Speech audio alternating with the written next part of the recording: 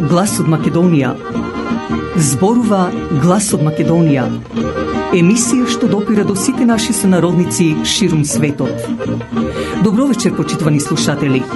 Ви се јавуваме со радиопрограмата Глас од Македонија што се емитува секоја недела од 6 до 7 часот на вечер преку етерот на радиостаницата CMR на Бранова должина 101,3 FM.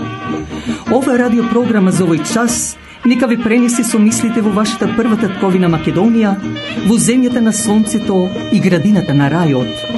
Нека топло допре зборот и песната македонска во вашиот дом, а вие бидете секогаш дел од нас, за да и ние бидеме вечно со вас.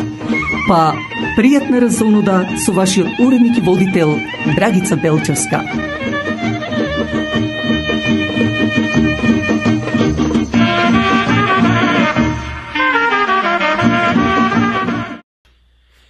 Со вечерашнава наша емисија, почитувани мои сонародници и љубители на македонскиот народ и песна ширум светот, ќе ви презентираме од вистинската историја на Македонија, детски емисии, неоткриени таленти, интервјуа, обичаи, вистински настани кои ќе бидат во рубриката Верували или не, пота рубриката Жена, мајка и дом, како и други занимливости. Верувам, ќе најдете за вас по нешто интересно.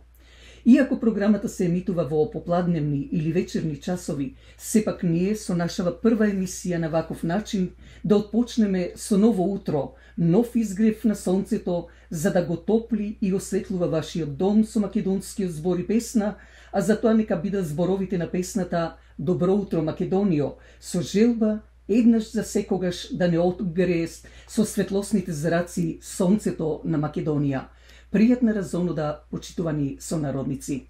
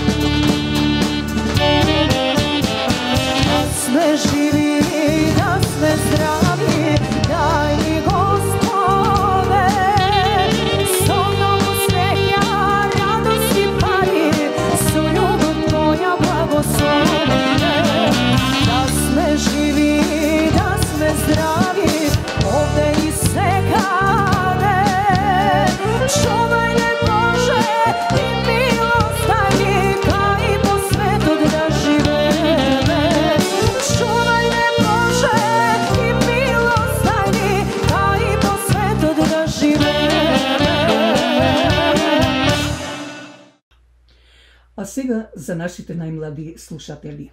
Драги дечиња, здраво! Верувам дека знаете подолго време не сум направила ништо за вас, но тоа не значи дека сум ве заборавила.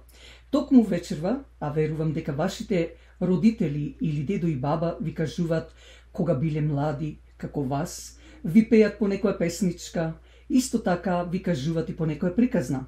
И вечерва, јас пак ќе се потрудам токму нив да ги заменам со многу интересна приказна. Знам дека одите во црква понекогаш со родителите, а посебно за Велик ден каде добивате и црвено јајце.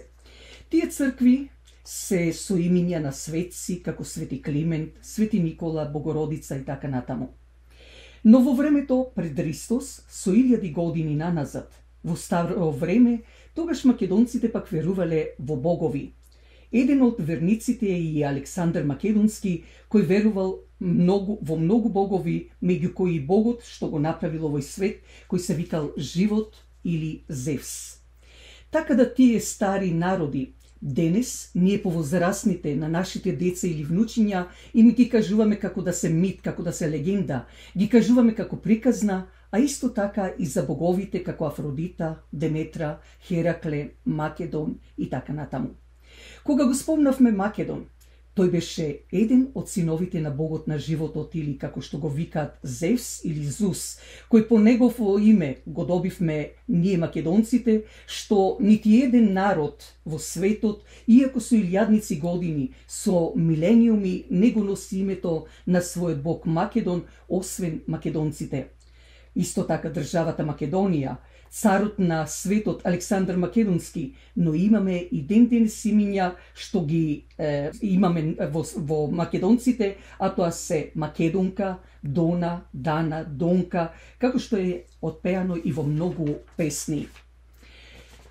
А ние вечерва кога зборуваме за Македон, токму ќе се задржиме за тој бог или принц. Таткото на Македон е најсилниот бог Зевс, а мајката Тија кој го имале и синот Магнет. Македон бил голем љубител на којните. Тој кога пораснал млад Ерген се влюбил во Ксантика, инаку престарото име за денешниот месец март е Ксант, односно Ксантика. Ја барал меѓу расцутените дрва и цвеќиња, што се претворале во плодородие, а народот се веселел со пеење и пиење, со црвено и бело вино и летните зраци на сонцето што останале до ден денес на знамињата македонски и везењето, а Ксантика пак е, Македон ја изгубил токму кога почнала пролета. Тој не престанал да ја бара и во другите сезони на годината, барајќи го предсветаното цвеќе, презрејаното овошје и јасенските семиња, заспани во зимскиот сон зашто таму ја замислувал дека е Ксантика.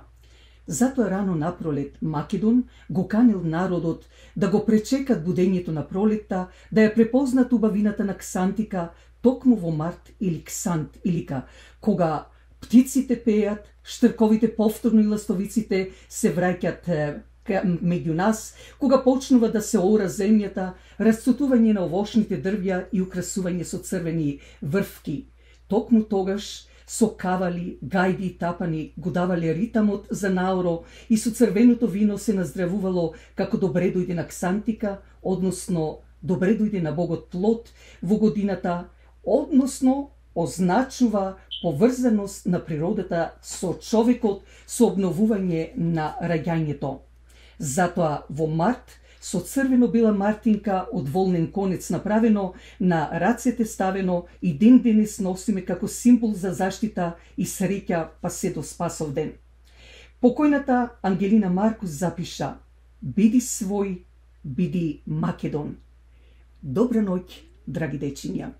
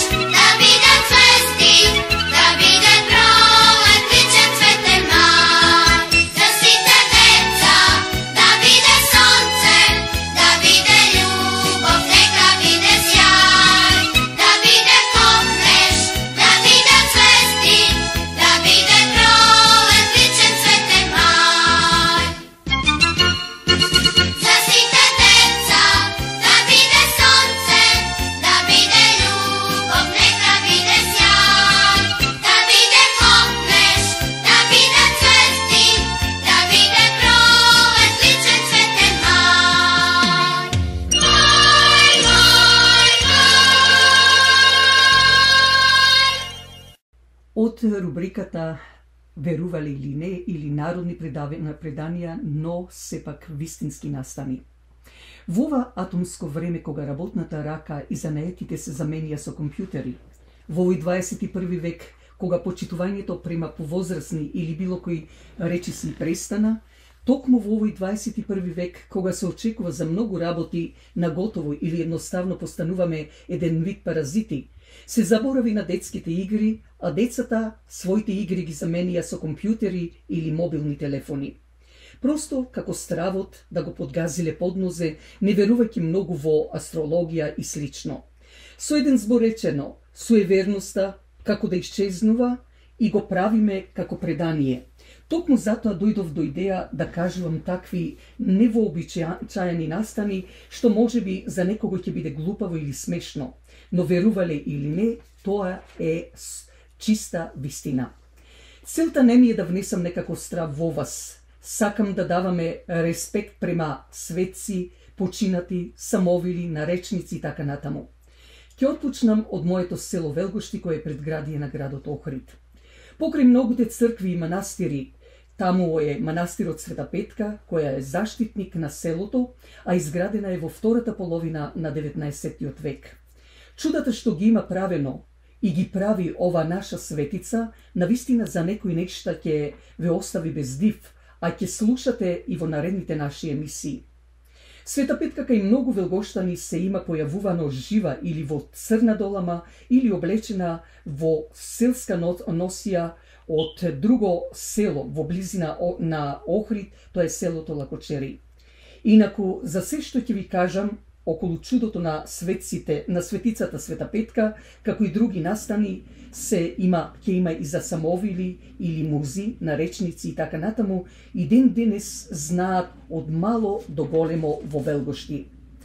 Пред да одам со моето така наречено предание, би сакала сите вас кои знаете за вакви настани да се случувале во вашиот град или село, напишете на мојата имейл адреса d b e l c h e v s k i majmunčejahu.ca Зашто мојата покојна баба од татко, па и мојата и од мајка ми баба секогаш ќе речеше каде да одиш или да се враќаш дома, или пред легнување, прекрсти се за да Господ биде со тебе, зашто не знаеш на што ќе нагазиш.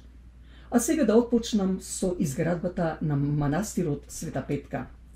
Велгоштани одлучиле да градат манастир, речи си веднаш до последната куќа од таа страна на, на селото. Меѓутоа тука има пат кој понатаму продолжува да се искачуваш према црквите Светилија, Свети Петар и Свети Никола. Дошли мајсторите утредента, ги донесле алатите спремни за да следниот ден копаат темели за црквата. Меѓутоа што се случило? Утредента на местото каде што ги оставиле алатите ги немало. Почнале да бараат ваму, таму, никаде не можеле да ги најдат. На крај ги нашле преку река, на камен кој е висок 8 метри. Ги зеле и отишле да работат, а потоа си заминале дома. Меѓутоа, вечерта му се сонува на еден од мајсторите, каде Света Петка му вели дека алатите повторно ги ставила на каменот, зашто таму сака да биде неизиниот храм, а овде, каде што планираат мештаните за да градат, тука не сака да им да и се валка местото. Стануваат утредента мајстрот им кажува на другите што сонил. Така одлучиле да одат и да ја градат црквата на местото на каменот. Еден од тие мајстори бил од фамилијата Шибаковци. Како што работел и се слизнал од каменот и паднал долу од 8 метри височина, а може би повеќе. Кога виделе другите мајстори, ги извадиле капите од главите да му оддадат почит, мислики дека на умрениот Шибаковски.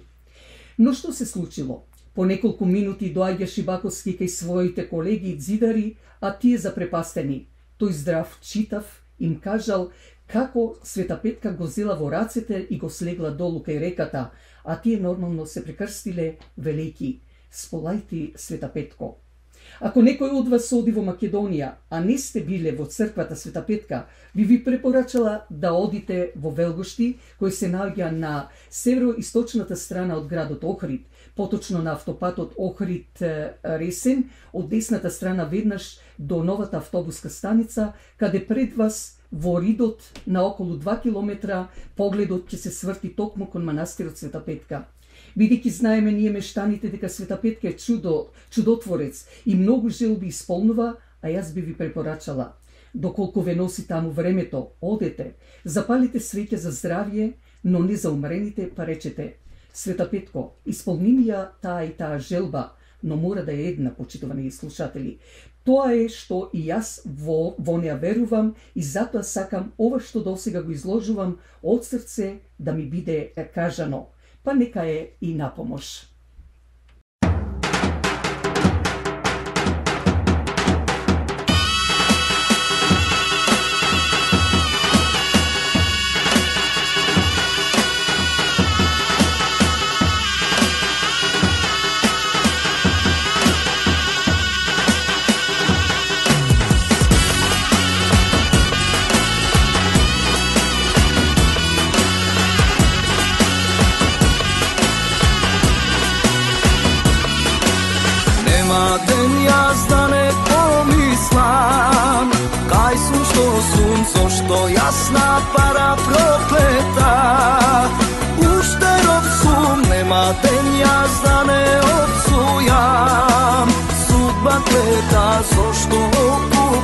Вас прелетав Очи има, пама не гледа. Нема на земјава ни еден печалбар Од срце што не заплакал Солза за мајката, солза за куќата Солза за Македонија за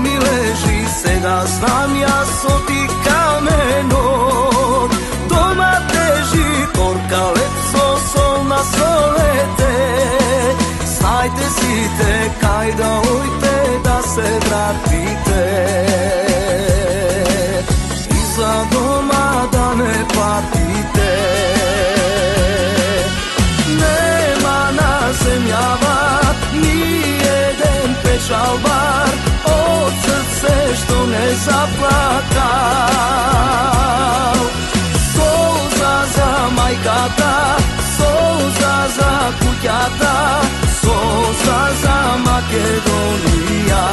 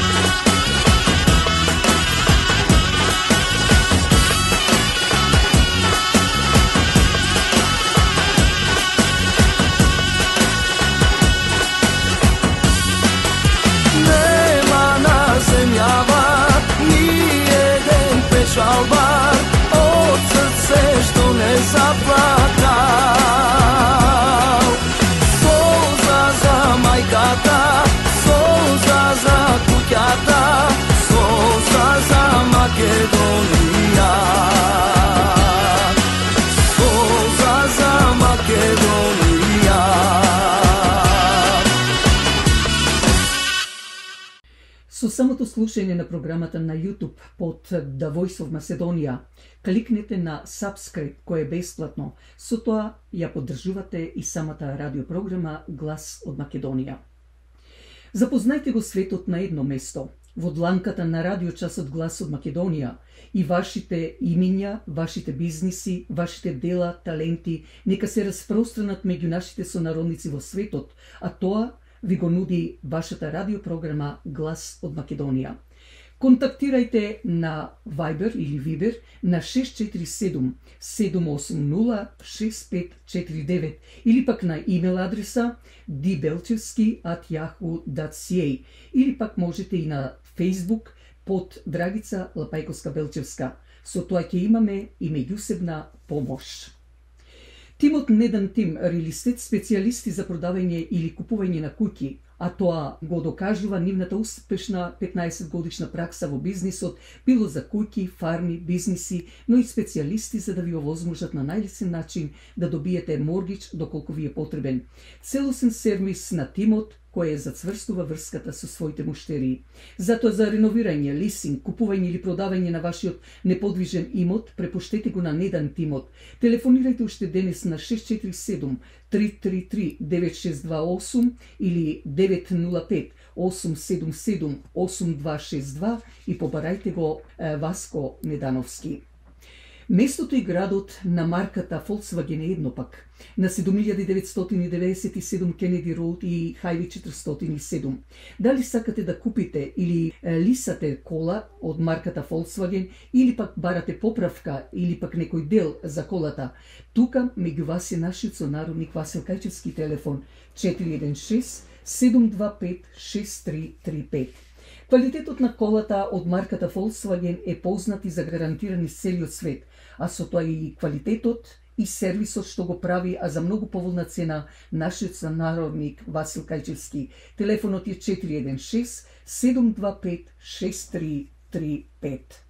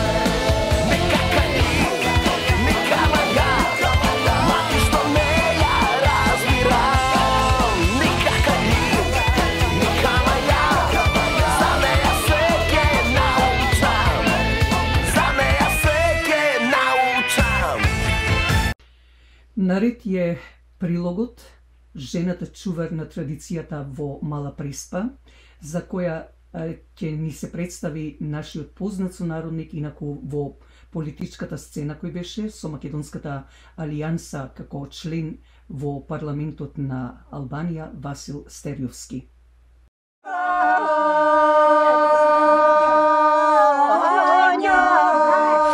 Македонската заедница, која живее во областа на Преспа, во југоисточниот дел на Албанија, на граница со Република Македонија и Грција, го чува и негова македонскиот јазик, како и традициите, фолклорот и културните вредности. Ова македонска заедница има богата духовна култура, пред се народните песни, обредите и обичаите. Главната улога во обредите и обичаите, како и во пеењето, ја има жената. Таа е чува на традицијата.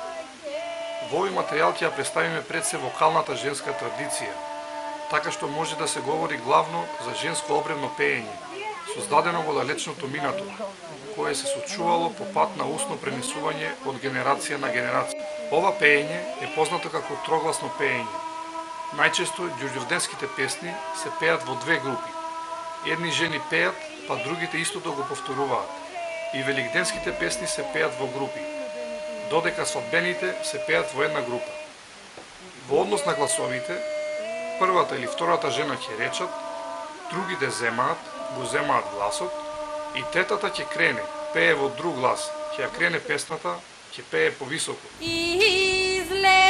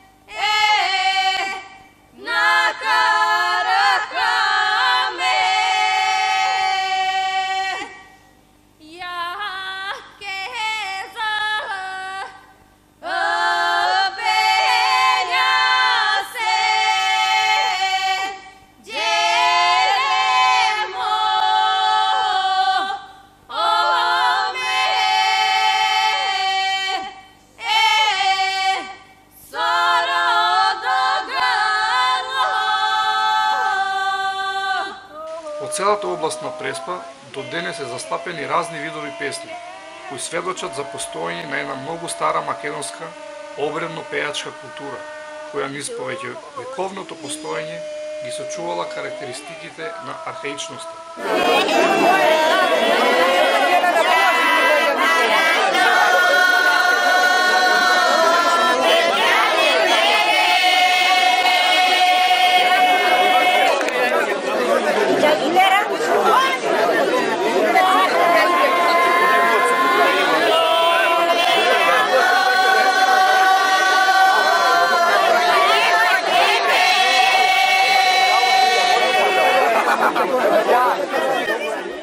Свадбата и свадбените обичаи, обреди и песни во Преспа представуваат жива традиција.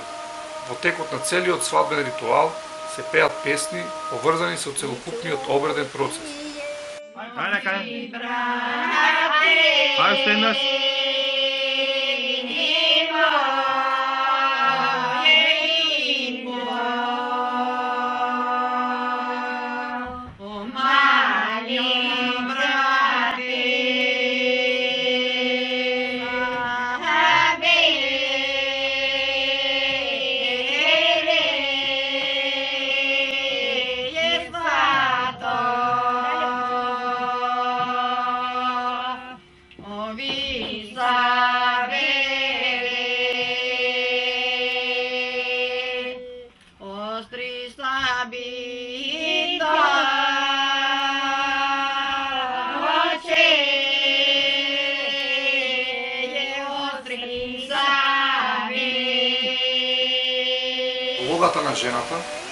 професионалното во пеење во Преспа е од големо значење.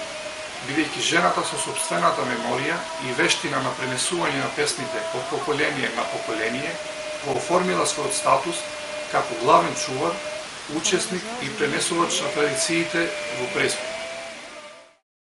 А сега ќе отпочнам, односно би сакала да дадам кратки информации околу надгробната плоча во Битола, што ја најдоа и наводно дека пишува и јас Јован Владислав Бугаринот. Имено не таа плоча од 11 век, како што велат бугарите, туку во Првата светска војна ставена, како во Битола, така и во други македонски градови на тогашна Македонија. Но да одиме со ред на така наречените бугари или турко-монголи или турко-татари прекрстен во Туркестан, колонија руска.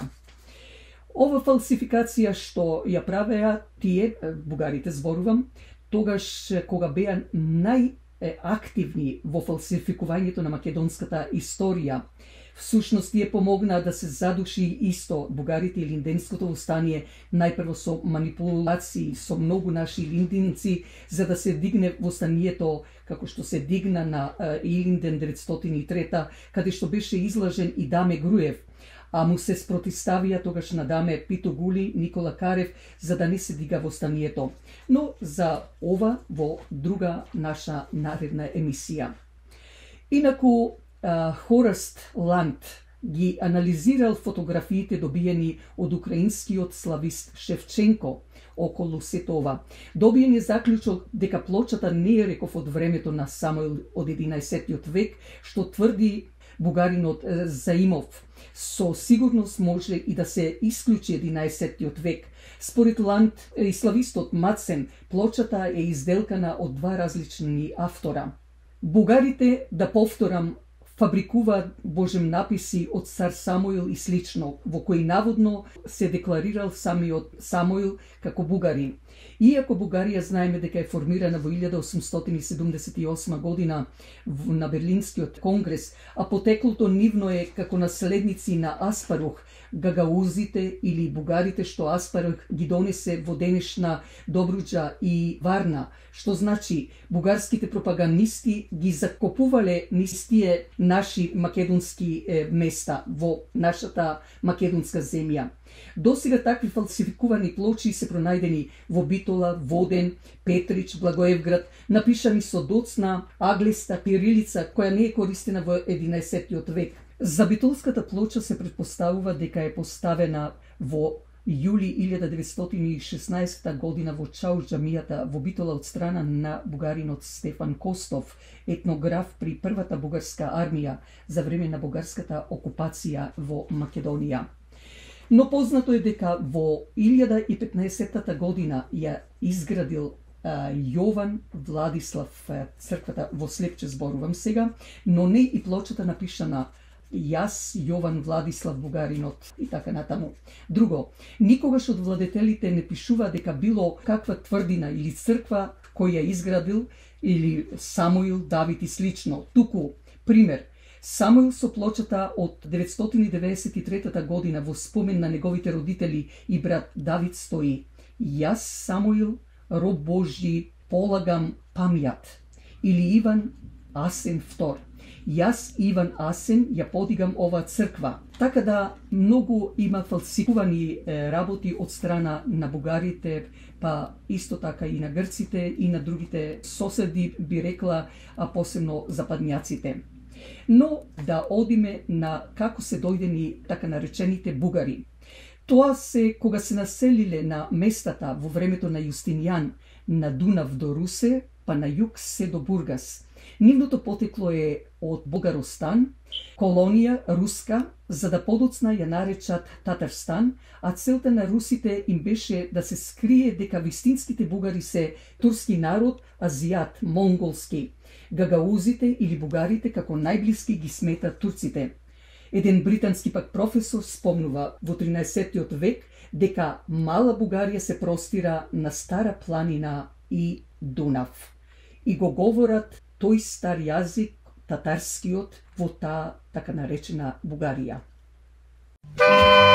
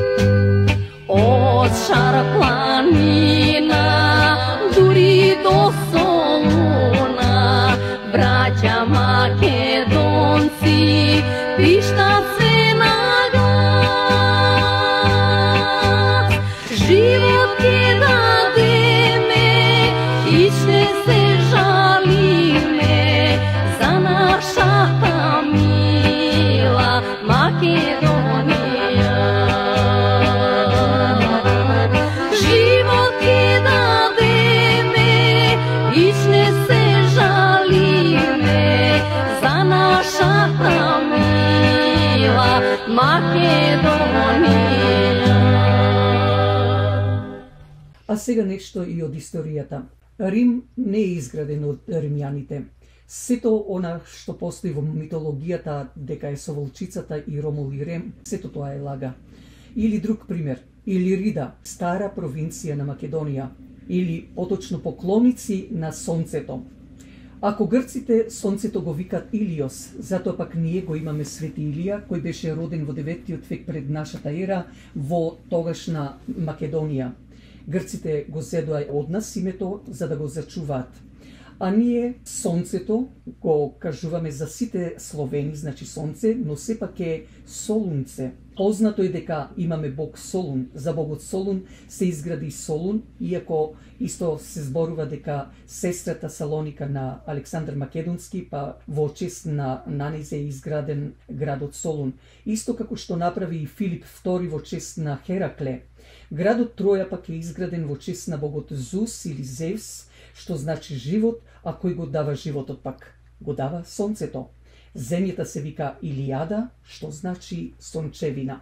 Сонцето знаеме дека е звезда.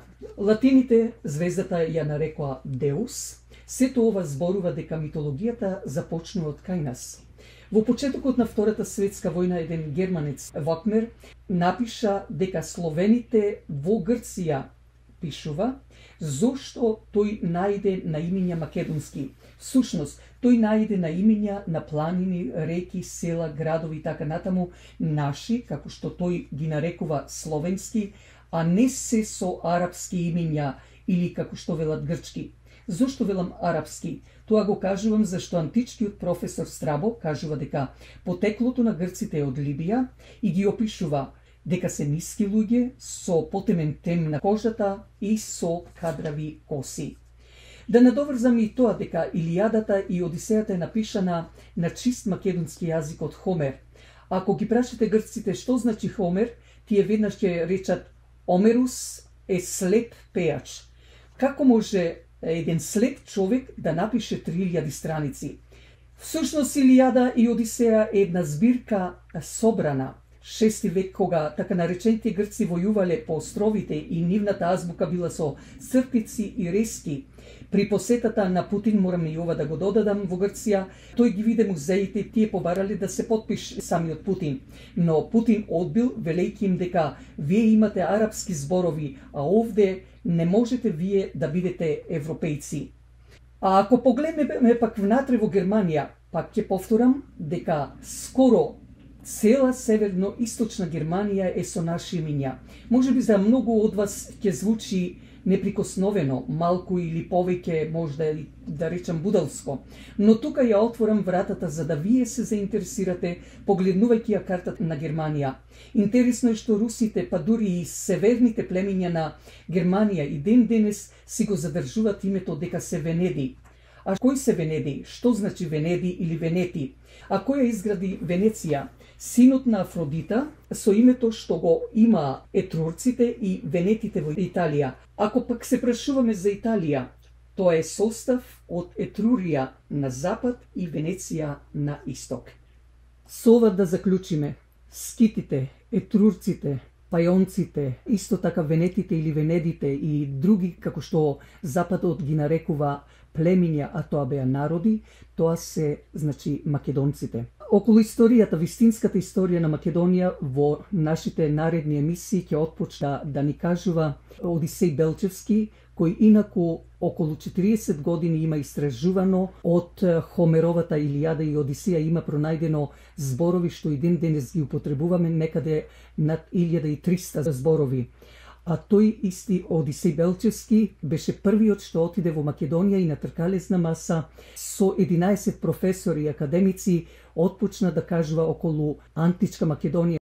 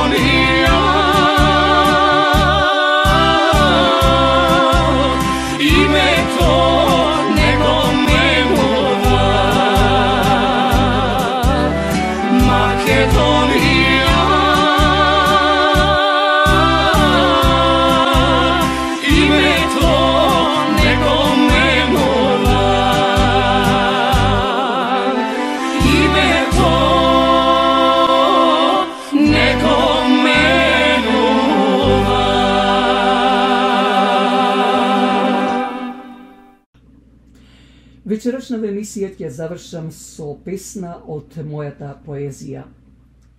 Ако животот ни е инспирација, настаните нашиот мотив, воздухот, нашата храна, чекорите пак секој наш одминат ден.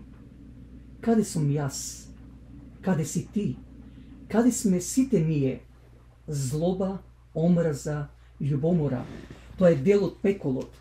Затоа отвори нова страница – Погледај се во онија пред огледалото на твојата вистина и запомни. Како што ќе си постелиш, така и ќе легнеш, зашто ти си само гостин на овој свет.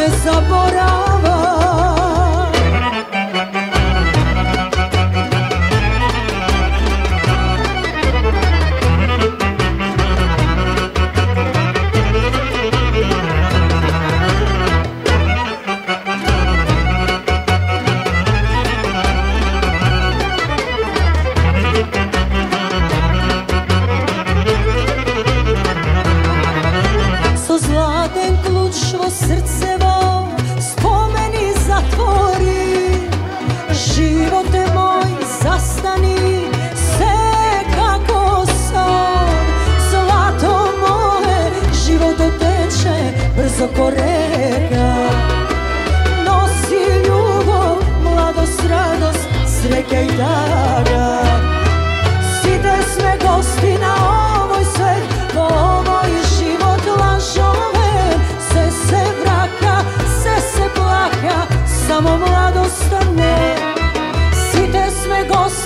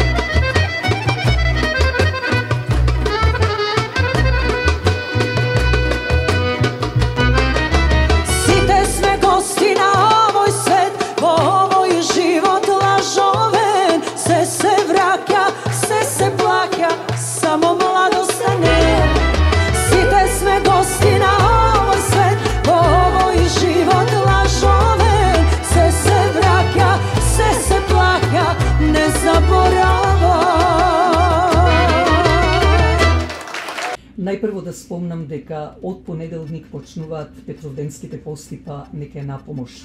Но се наближуваат и последните минути од ова наша емисија. Голема благодарност за вашето ценито внимание, но со желба да не слушате в недела, ако отворите на CMR 101.3 FM во 6 часот на вечер по канадско време. Но немојте да заборавите да не слушате идниот петок, отворејќи на YouTube под Давојс од Македонија од 8 часот на вечер. Вашиот уредник и водител Драгица Белчевска ви посакува добра ноќ и пријатен викенд.